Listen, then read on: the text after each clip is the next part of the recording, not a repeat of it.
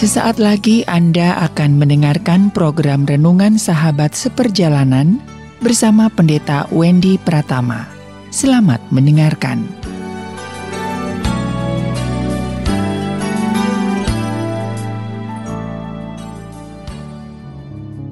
Selamat berjumpa kembali di dalam layanan audio Sahabat Seperjalanan. Hari ini adalah hari Selasa 30 Maret 2021. Tema renungan dan saat teduh kita dengan judul Cinta tak berujung, cinta tak berujung. Firman Tuhan terambil dalam Kidung Agung pasal ke-8 ayat yang ke-7. Demikian bunyi firman Allah. Air yang banyak tak dapat memadamkan cinta Sungai-sungai tak dapat menghanyutkannya. Sekalipun orang memberi segala harta bendanya untuk cinta, namun ia pasti dihina. Mari kita berdoa. Bapa yang di dalam sorga saat kami mendekat untuk merayakan Paskah dan memasuki suasana Jumat Agung. Kami mau belajar tentang makna cinta yang sesungguhnya, makna kasih yang sesungguhnya, belajar dari kebenaran firman Allah. Apa yang ingin Tuhan berikan pencerahan kepada kami semua. Di dalam nama Tuhan Yesus kami berdoa. Amin. Sahabat seperjalanan yang dikasihi Tuhan, apa bedanya cinta Tuhan dengan cinta manusia? Apa bedanya? Mari kita belajar tentang cinta manusia. Kalau cinta manusia jelas adalah dua pribadi yang tidak sempurna, dua pribadi yang ada keterbatasan, dua pribadi yang masing-masing ada kekurangan, dan dua pribadi yang punya kepentingan. Sehingga cinta, hubungan cinta manusia itu cinta yang sangat rapuh. Antara manis dan pahit itu jungkir balik. Di antara cinta manusia ada racun, ada juga madu, ada pelangi, namun juga ada duri yang menusuk. Ada rangkulan, namun juga ada tusukan dari belakang yang terjadi dalam hubungan-hubungan. Rumah tangga yang hancur. Orang tua dan anak hubungannya kacau balau. Mertua dan mantu yang saling menjelekan. Antara pegawai dan kemudian karyawan yang saling kemudian mencurigai. Antara guru dan murid. Ataupun hubungan apa pun juga Hubungan manusia adalah hubungan yang penuh dengan kepentingan, penuh dengan ketidaksempurnaan, dan penuh dengan kekurangan. Sekalipun kita bisa menemukan perkara-perkara indah di dalam orang yang berhubungan, biasanya sesuatu itu indah tatkala memang ada keindahan.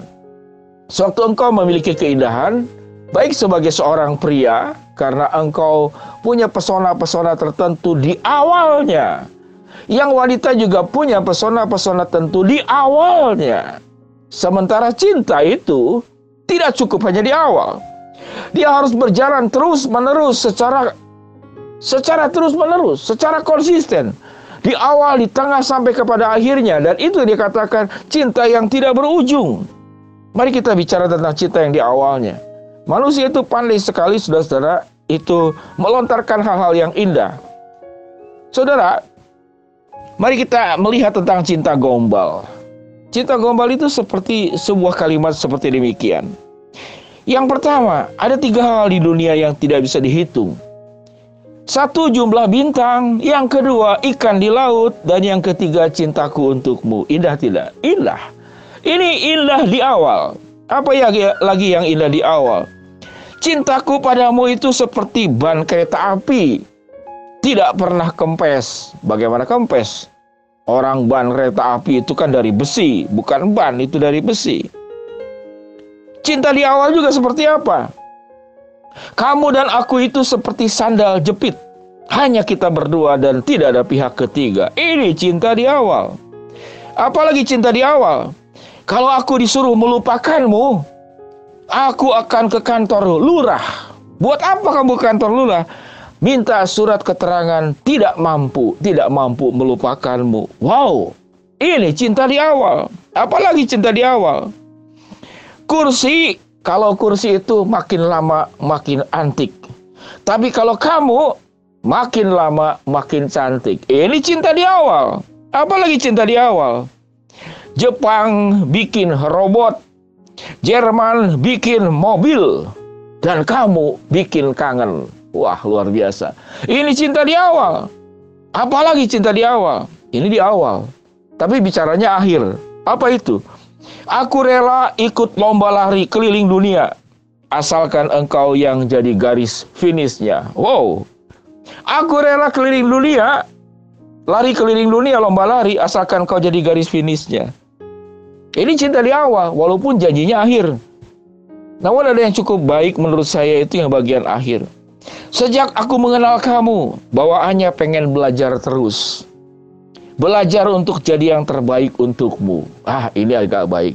Jadi semenjak mengenal kamu, aku jadi suka belajar, belajar untuk menjadi yang terbaik untukmu. Itulah cinta di awal. Semua yang manis yang diungkapkan di awal itu menjadi begitu menyakitkan, menjadi kenangan yang menyakitkan sewaktu perjalanannya itu tidak sampai ke ujung. Di tengah-tengah mulai kadarnya menurun, lalu di ujungnya menjadi pengkhianatan. Lalu yang di ujungnya adalah segala hal-hal yang buruk yang keluar dalam diri orang dua belah pihak. Karena mengapa? Karena saya katakan tadi, manusia itu penuh kekurangan, manusia itu penuh kepentingan, dan manusia itu di dalam berelasi transaksional. Bagaimana dengan cinta Tuhan? Cinta Tuhan itu cinta sempurna yang tidak ada ujungnya, sehingga seseorang kalau ingin mencintai dengan benar, sebagai ayah, sebagai ibu, sebagai suami, sebagai istri, sebagai mertua, sebagai guru, sebagai dosen, sebagai pejabat pemerintah, sebagai seorang profesional. Bagaimana engkau bisa melakukan yang terbaik di dalam hidupmu? Baik itu adalah berkarya di dalam kapasitas dan keterampilan dan kelebihan yang engkau miliki atau juga di dalam membangun relasi. Yaitu bagaimana? Engkau tidak bisa berdiri sendiri. Engkau tidak sanggup mencintai dengan kekuatanmu. Karena kekuatanmu ada limitnya, kekuatanmu itu ada batasnya. Engkau harus belajar mencintai dengan kekuatan Allah. Sehingga tatkala engkau dikecewakan, engkau tetap mencintai tanpa ujung. Tatkala engkau dihianati, engkau tetap mencintai tanpa ujung. Engkau tidak akan pernah terluka. Hanya cinta Tuhan yang sempurna Cinta Tuhan itu tidak pernah terluka. Cinta Tuhan itu tidak pernah berkurang. Cinta Tuhan itu tidak pernah berhenti. Cinta Tuhan itu tidak pernah menyusut. Dan cinta Tuhan itu tidak pernah berubah. Inilah berita dari suasana Jumat Agung dan Paskah yang kita akan alami dalam minggu ini.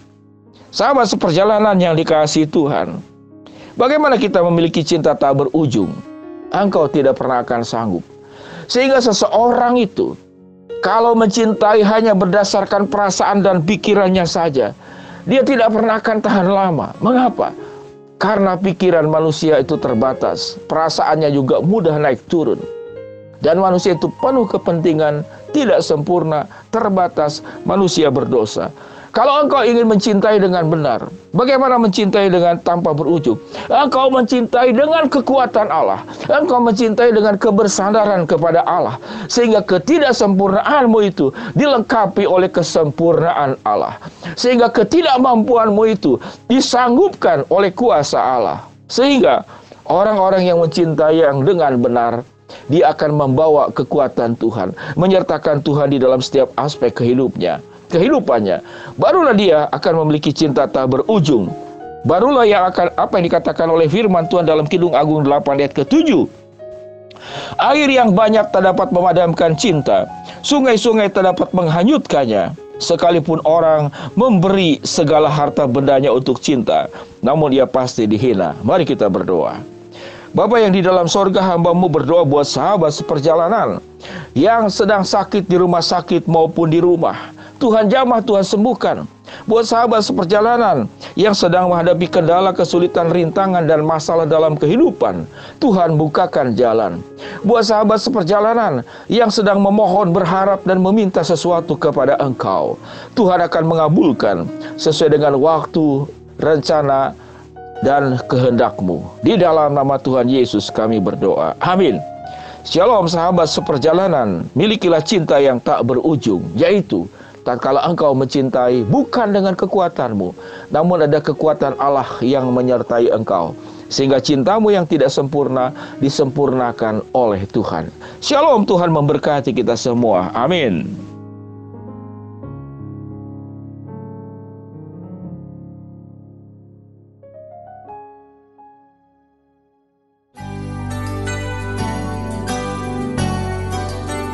Anda baru saja mendengarkan program Renungan Sahabat Seperjalanan bersama Pendeta Wendy Pratama.